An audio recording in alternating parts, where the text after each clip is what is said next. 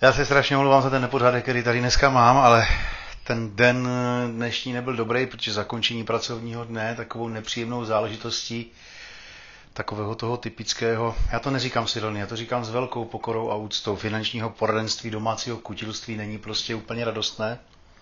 Volala mi mladá paní, že nedostane se svý pojišťovny nic, že je vážně nemocná, že jsem její poslední šance, že její známa, která je moje dlouholetá klientka, jí dala číslo na mě, jestli by se s tím nedalo něco udělat.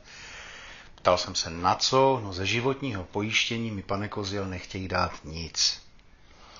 Ptal jsem se jí diagnoza, nemoc, průběh nemoci, stav nemoci, poslala mi svoji životní pojistku, říká mi tady jednoznačně z těch životní pojistky nic nemůžete mít, protože ji máte úplně špatně nastavenou, neobsahuje tam vaše životní pojištění, neobsahuje základní rizika, která byste měla mít vzhledem k vaší životní finanční situaci. To znamená, máte jakési úvěrové zatížení, to znamená hypotéku, máte nějaký cíl, máte nějaký program, který musíte naplnit finanční, to znamená, eh, spoříte na něco, toto se prostě reálně stát nemůže, protože vaše životní pojistka, a teď padla ta otázka, kdo vám ji dělal. Nejčastější odpovědi kamarád, známá, švagrová, nejlepší kámoš, velmi často s dovědkem ten už to nedělá, ten už mi změnil firmu, finanční poradce, který mi to nedělal, nebo dělal mi nebere telefon, já takhle můžu pokračovat do nekonečna.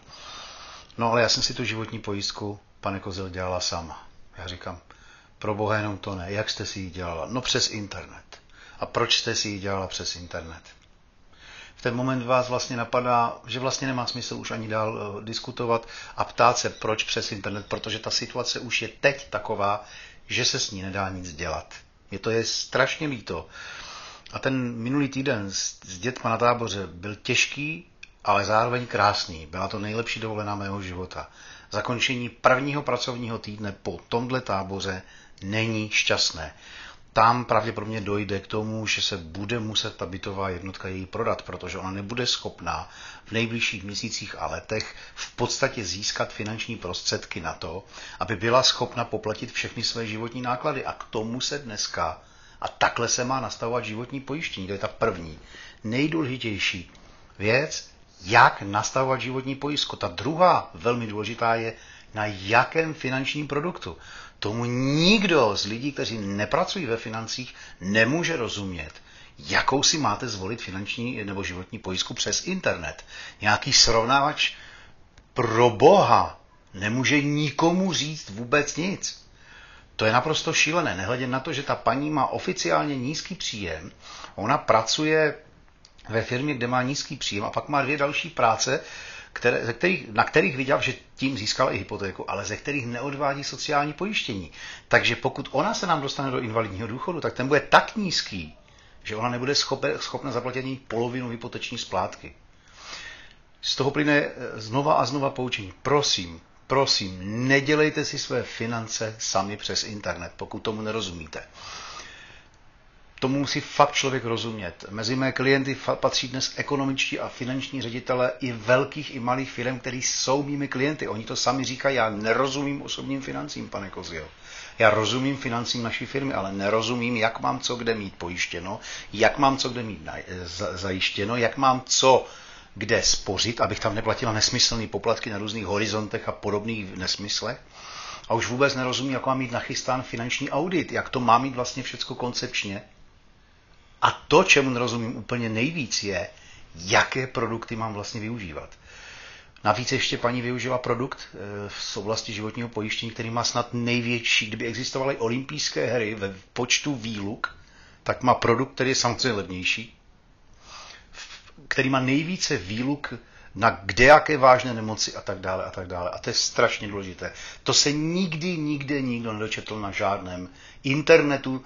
To vám tam vychrlí nějaký srovnání, hodí vám to tam do, do, do, do, do tabulky vážné nemoci, invalid, to tam to naboucháte, máte pocit, že jste dobře pojištění. Říkám to mnoho let. Tento případ se týkal životního pojištění. Každý by to životní pojištění měl mít. Je to naprosto neoddělitelná a nedílná součást dobrých, zdravých financí každého zodpovědného člověka. Můžete mě argumentovat, jak chcete. Já už jsem těch argumentů slyšel hodně a já je i přijímám, já s nima nechci diskutovat a chápu i některé vaše situace, ale toto je tak závažná věc, že pokud člověk má úvěrové zatížení, a to ta paní má, pokud má dobře spočítáno své životní náklady, které musí každý měsíc pokryt a k tomu dostatečnou rezervu, což ona neměla, tomu všemu musíte mít dobře nastavené životní pojištění. To je prostě jedna rovina. Ať člověk chce nebo ne. Tak vám všem přeji hodně štěstí v tomhle. Neplánujte si své finance sami. Neřešte si svá pojištění, nastavení, revidujte minimálně jednou za dva roky všechny vaše finance, aktualizujte své smlouvy, ale ne, neřešte to s pojišťovnou. Řešte to s nějakým kvalifikovaným finančním poradcem a jejich dost si myslím. Nejsou jenom špatní, jsou i dobří. Hledejte, já vám přeji v tom hodně štěstí. Vím, že to je někdy těžké, ale přeji vám, abyste vám to povedlo najít. Já vám rád s kolegy pomůžu.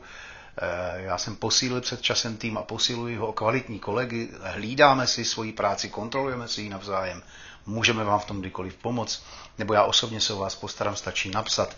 Já tady dám odkaz někde na webové stránky, kde je vlastně jednoduché webovky, kde jsou, nejsou žádné zbytečné povídačky, tam najdete e-mail, telefon, zavolejte, napište, nebojte se. Hodně štěstí přeji. Pěkný den.